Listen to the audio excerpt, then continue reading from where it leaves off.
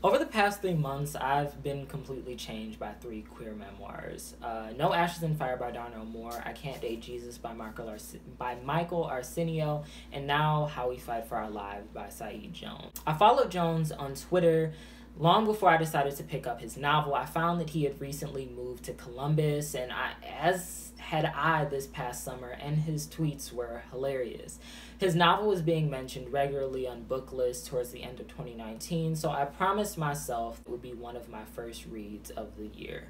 Walking into an independent bookstore on a Saturday a few months ago, the book was sitting right there staring at me, basically calling out for me to spend $26 on it. Took another week for me to get around to actually cracking the book open, but something told me that once I started, I would not be able to stop.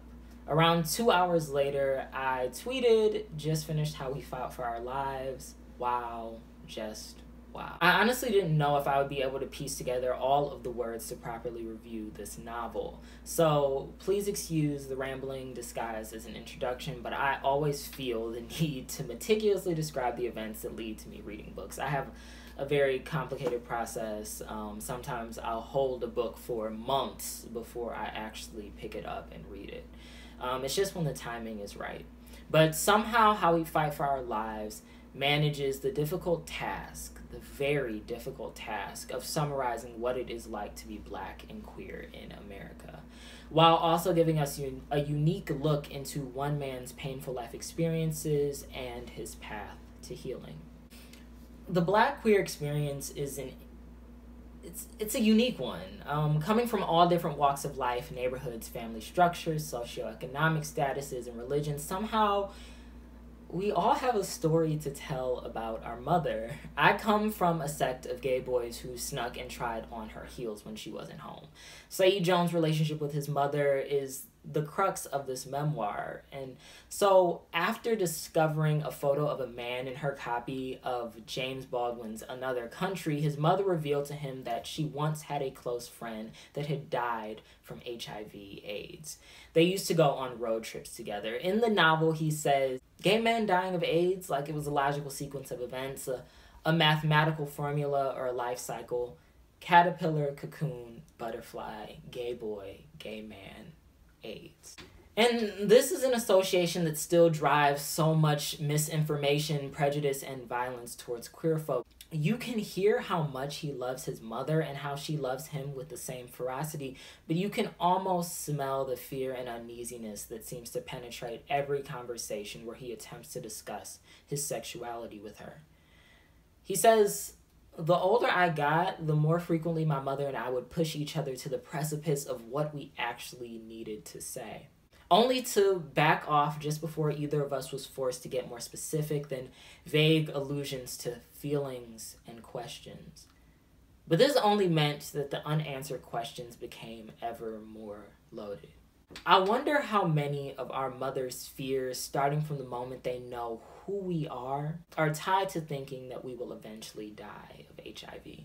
Jones' poetic nature is present throughout this story. He's a poet, a former educator himself, and I was able to identify with his life in a very unique way. However, where Jones' life takes a turn into territory that is not often discussed with much nuance in black queer spaces, especially especially on Twitter, um, is his relationships with white men.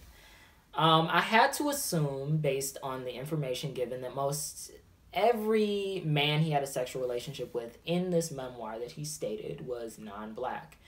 From his experiences earlier in life and his own anger and desire to be desired, Saeed Jones presents readers with an unfiltered account of his recurring hookups with a white man who he only refers to as the botanist.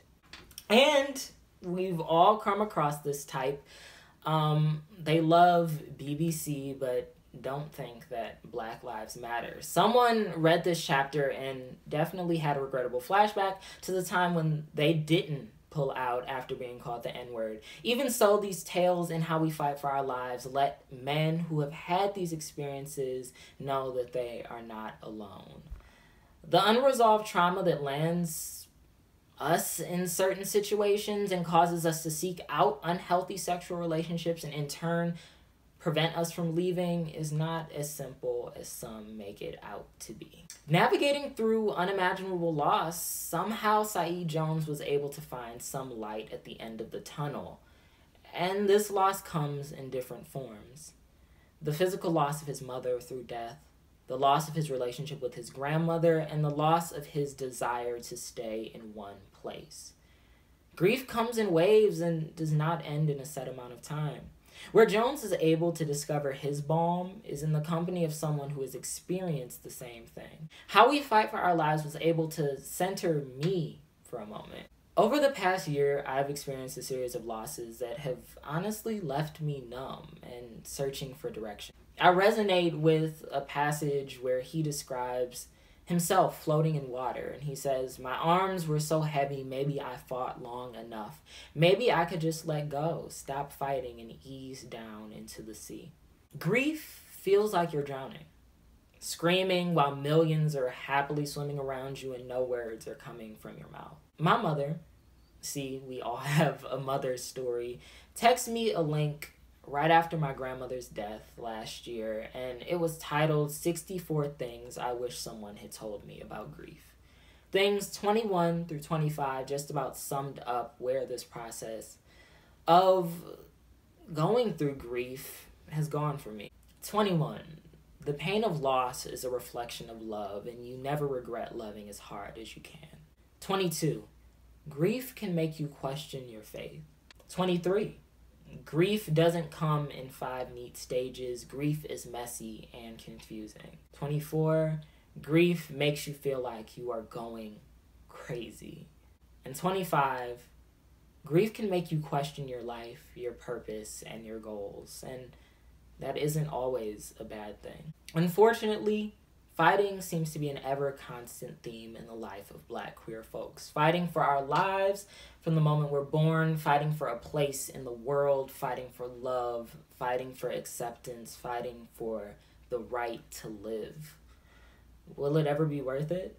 Maybe. Just maybe.